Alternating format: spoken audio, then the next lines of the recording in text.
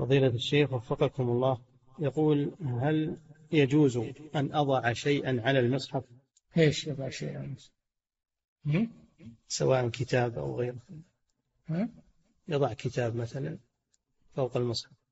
إذا كان هذا الشيء طاهرا و وليس فيه محذور فلا بأس. وإن كان الأولى أن المصحف يرفع. الأولى أنه يرفع لكن إذا وضع عليه شيء طاهر وليس فيه محذور فلا, يحرم هذا. وإن كان الأولى خلافه نعم.